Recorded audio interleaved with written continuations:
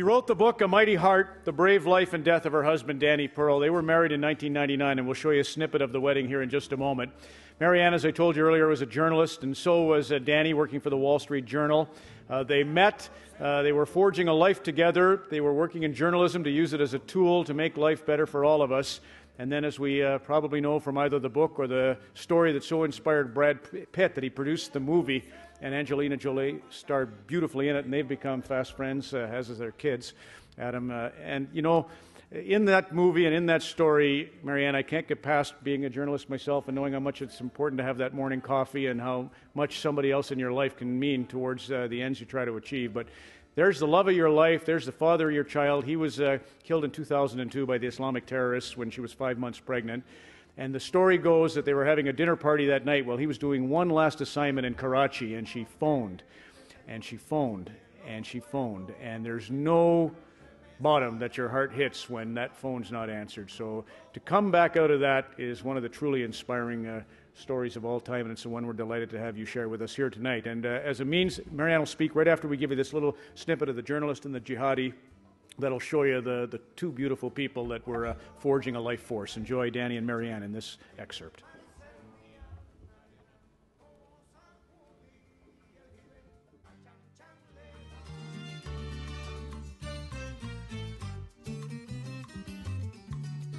So that first weekend, he had planned this crazy bike trip in Kent. You know, it was like one surprise after the other. It was like, like no one I ever knew, you know, really. And that's when, you know, that's when we, uh, we really clicked.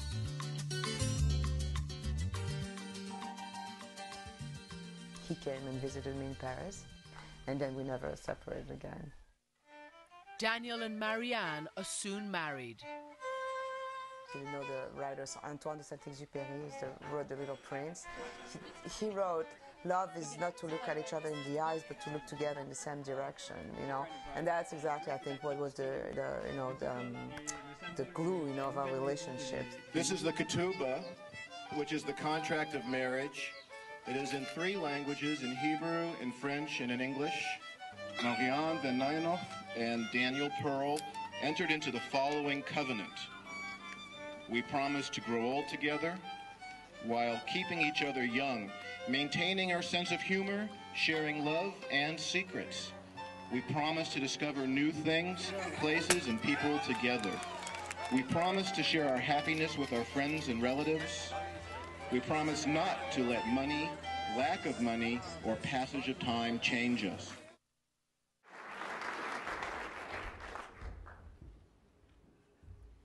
Well, thank you very much. I, um, I'm very pleased to be here tonight, and uh, it's very inspiring to uh, hear all the uh, awardees.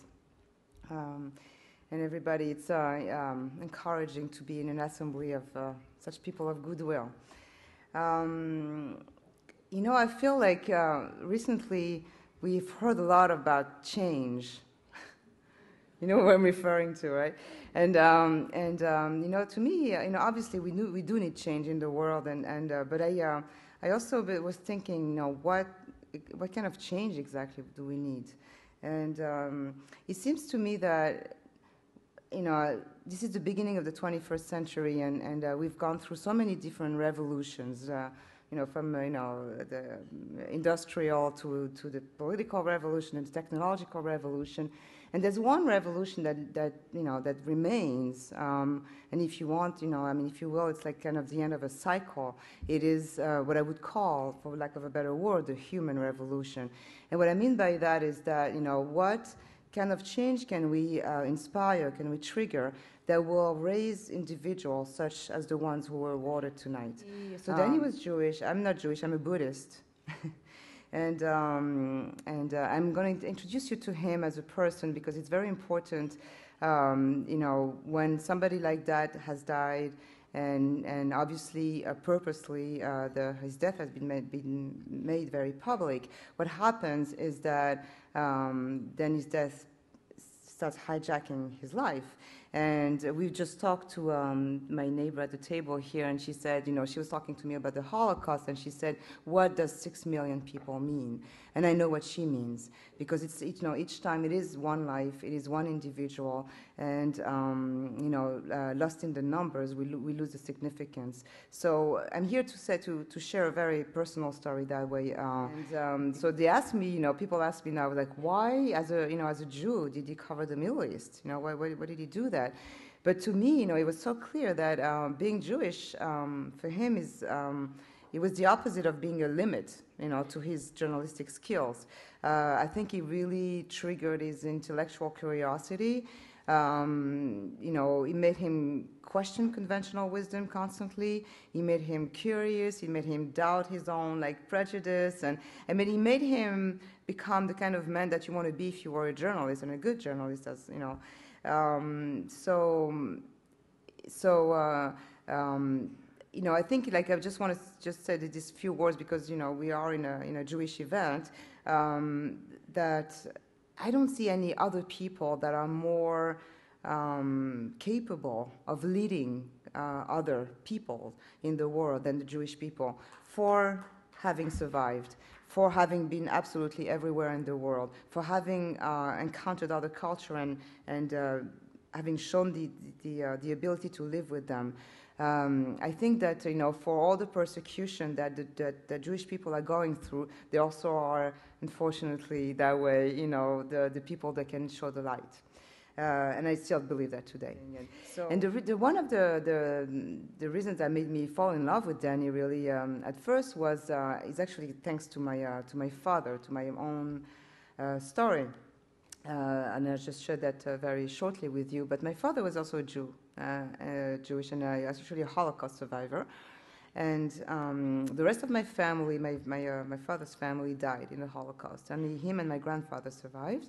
And um, it was very hard for him. Life after the Holocaust and after everything he went through was very difficult. And he ended up killing himself when I was nine. Uh, and he was 42. And just before he, uh, he died, he, um, he called me. Uh, so basically, it was his deathbed, even though I didn't know that. And uh, he said, I have something very important to tell you that you're not going to understand now, but keep it for the rest of your life. And he said to me, he talked to me about cynicism. He said, um, Don't ever be cynical. Uh, cynicism is the weapon of the weak. So, um, you know, obviously at the time I didn't understand anything, but I think that uh, has saved my, my own life. And it has saved me as a journalist, it has saved me as a mother, and it has, uh, you know, just, uh, I think, preserved my soul. Um, when I was talking earlier um, at the beginning of this uh, speech about a human revolution, I think that has been the basis of my own re human revolution. I think that most of my efforts, as a you know, um, as everything I, I, I, quoted as a journalist, as a mother, uh, after Danny died, and you know, and for everything that we did together, uh, a lot of my um, you know efforts were were went into not becoming cynical for everything that I was witnessing in the world, um, you know, um, just um, fighting prejudice all the time. And I started understanding, thanks to that, you know, uh, legacy, which is kind of weird, but it is, you know, it is a legacy from my father, that, you know, the main work I was, you know, ever, anything I was ever going to become uh, was going to require uh, work that nobody was going to see you know, and that was going to be uh, the, the most important thing. And I could become a very brilliant journalist, but not a great person. And so, you know, when I met Danny, he himself was not a cynical journalist, which is very rare I'm sure my hockey friend here was, where are you? You know, I mean, well, well, you know, I will agree. It's like, you know, it is a disease in our profession, you know, that, you know, people become very, very cynical. And it seems just to be like a trait of character. And sometimes, you know, it's very easy to be cynical and funny. Uh, but the truth of the matter is like, you know, um, it, is, um, it is a disease to me, you know. It's like uh, once you start becoming cynical um, and, um, and you start losing your faith in human nature. Uh, and, and keeping faith in human nature is, a, excuse me, it's a, um, it's a willingful act. It's an act of will. It's an act of faith.